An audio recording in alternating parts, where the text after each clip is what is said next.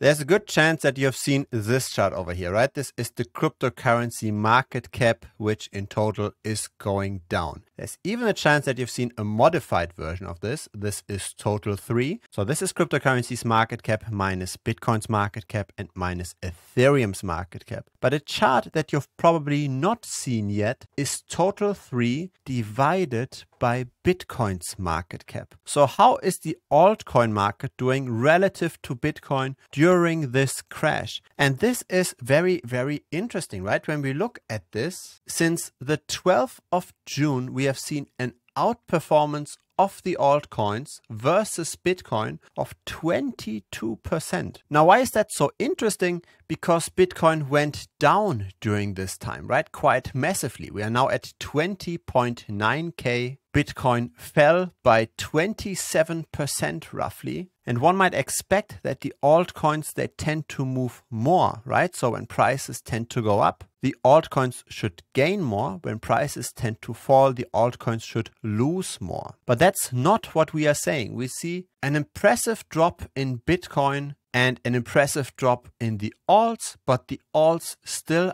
outperform Bitcoin. The alts fall less. And now the big question is, why is that the case? Have we seen something like this before? And there's a lot of speculation around the why, right? So for example, one might argue we have already seen quite a destruction in capital for the alts, right? So when we look at the top here on the 8th of November 2021 all the way to today, the altcoin market cap went down by 67%. The prices of those altcoins tended to go down even more, right? Because altcoins tend to be inflationary in nature. So even the market cap went down only by 67%. Chances are that your individual altcoin portfolio is maybe down by 80% or 85%. So one argument might be, okay, when we're already down that much, now it doesn't even worth it anymore to sell. Another argument is that over the long term, people might still be somewhat bullish. Or in other words, retail hasn't capitulated yet. So I've made different surveys over here on YouTube. And recently, so just four hours ago, I asked, how long will Bitcoin fall? Where do you see will be the bottom? When does it finally recover? And 20% think we've already seen the low. More people think we might fall further to maybe 15K or 10K. But what's most interesting around this survey is most people do not think that Bitcoin in itself has failed, that it will never recover. And that's, I think, an interesting takeaway here, right? Most people think crypto is still intact. Bitcoin or crypto will not go to zero. So it's just a matter of time until everything recovers. This is pretty different to the 2018 crash to the crypto winter. A lot of people at that time thought that the market won't recover at all anymore. That it's not just a temporary crash, but that the technology in itself has failed, that adoption has failed, that it's just a fad, basically. That's currently not the sentiment at all. 94% of people think Bitcoin is just temporarily in a bottom and that it will recover. And that might explain why people don't necessarily feel inclined to sell at low levels like this. Now, there is a cautionary tale though, and this is how actually the crypto winter in 2018 started. So this is again the Bitcoin chart and let's look at when exactly that top happened. So the highest price was on the 16th of December of 2017. That was for Bitcoin. Now what happened for the altcoins? When did they see their peak? For that, let's look again at the total cryptocurrency market cap, go all the way back to 2017 and the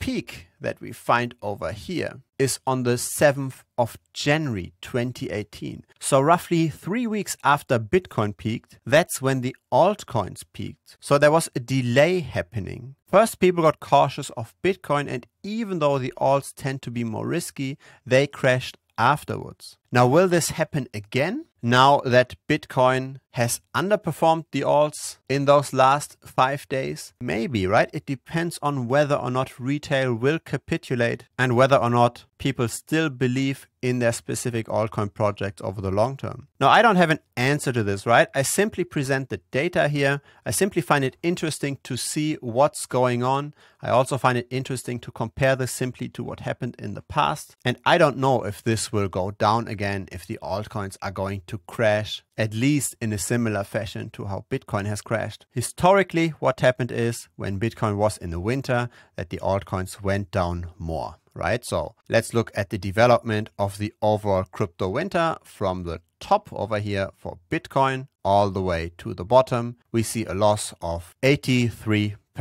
roughly. When we look at Ethereum, for example, during the same time period, Ethereum went down by 94%. What about Cardano? Cardano was also a high flyer during the time. Cardano went down by 98% almost. So that's what happened historically. Historically, Bitcoin outperformed during bearish times during this initial crash here. That's definitely not the case. So what can we do with this data? It depends on how you see the current market environment, right? If you do think that Bitcoin is going to recover from here, because one other interesting data point is the stable coin dominance. So this is now a measure of the overall cryptocurrency market cap that's currently in Tether, in DAI, and in USDC. So we are looking here at three major stablecoins and on the right axis over here we've got a measure in percent. So currently 15.2% of all of crypto is locked up in those three stablecoins. And we can see over the long term, this is increasing, which does make sense, right? More and more people are actively speculating on crypto. They're not just buying and holding. So an increased adoption of stablecoins makes sense. But we can also see a wave form building over here, right? Sometimes the stablecoin dominance is high, sometimes it's low. Currently, it's as high as it has ever been. So it's really, really high. So when we look at these prior peaks, right? For example, here on the 20th of July 2021. When we compare this to, let's say, the total cryptocurrency market cap, how did it look on the 20th of July? This is what we are getting, a very low point. So when stablecoin dominance is high, the prices of all of crypto tend to be low and vice versa. So let's look at this, right? Let's look at the other side. So stablecoin dominance is pretty low on the 8th of November 2021. The 8th of November was a high point over here in the total cryptocurrency market cap. So the question is, do you believe that this trend here will continue? As in,